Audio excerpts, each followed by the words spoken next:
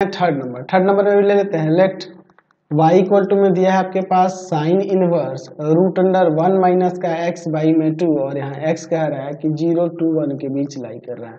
तो हम लोग इसमें क्या करेंगे? लिखेंगे पुटिंग x इक्वल टू में cos थीटा तो ज़ाहिर सी बात है, यहाँ से थीटा का वैल्यू आपका हो जाएगा cos इनवर्स x चलिए तो यहाँ से y इक्वल टू में लिख सकते हैं sine inverse root under one minus का cos थीटा बाई में टू चलिए, y इक्वल टू में हो जाएगा साइन इनवर्स इसका फॉर्मूला होता है ऊपर two sine square theta by two by में टू ये टू से ये टू कट जाएगा। अब इसके बाद देखिए स्क्वायर से रूट हटाएँगे तो y इक्वल टू में साइन इनवर्स आ जाएगा यहाँ पे साइन थीटा बाई टू अब आगे देखते हैं इसमें।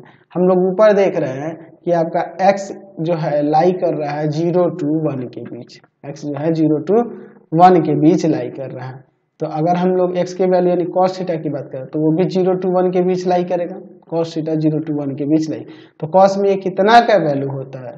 तो cos ज़ीरो जो होता है, ये आपका हो जाता है पाई बाई टू का। और यहाँ पर वन जो होता है, ये ज़ीरो का होता है। तो अगर बाई टू करते हैं तो बाई टू करेंगे भी तो है ना? हमें थीटा बाई टू से मतलब है। तो पाई बाई फोर टू यहाँ पर ये आ जाएगा ज़ीरो।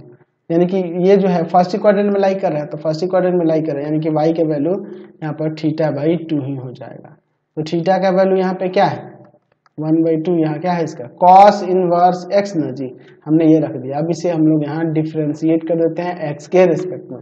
तो क्या हो जाएगा डिफ्रेंशिएट करने पे? तो d y by d x जो हो जाएगा वन बाई टू इंटू में minus one by root under one minus x square आ जाएगा minus one by two root under one minus x square, इसका यहाँ से डिफ्रेंसिएशन आ गया। नेक्स्ट